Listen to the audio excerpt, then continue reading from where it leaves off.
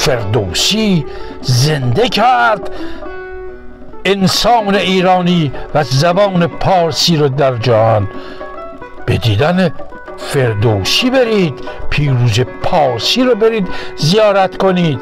در همون توس در مشهد هر هفته و هر روز برید. به شما وعده میده سیاوش اوستا که حاجت شما هم همه این بزرگان آریایی برآورده می کند اگر همچنان ابلهانه می اندیشید که حاجتی هست رضا شاه بزرگ اینها رو بازسازی کرد ساخت برای شما روحانیان گردن زد لباس را از سر تنشون در آورد روسری از سر زنان در آورد انگلیس و دیگر دشمنان ایران آریایی اومدن و دوباره برگردوندن به جایگاه خودش.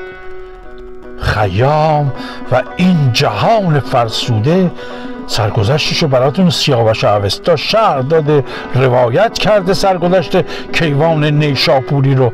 برید گوش کنید به دیگران نیز معرفی کنید که بشناسید خیام کی بود کیوان نیشابوری ای آن که گزیده ای تو دین زرتشت اسلام فکنده ای تمام است پس و پشت رو گوشه نشین عمر خیام که این مردم یک روزی روشن خواهند شد. این من خود خیام این ربایی.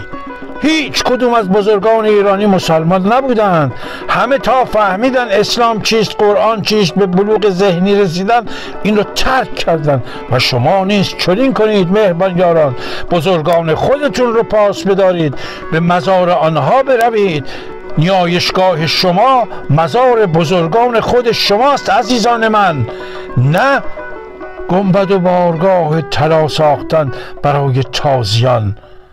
شما بزرگان خودتان را پاس بدارید و هر هفته هر جشن هر شادی در یاد روزهای اینها که در سالنامه آریایی میترایی اومده به مزار آنها برید و بزرگ بدارید بزرگان تاریخ اهورایی خودتون رو. این بارگاه و آرامگاه شاهنشاه آریامهر است. کسی که نام خودش را از محمد رضا به آریامهر عوض کرد.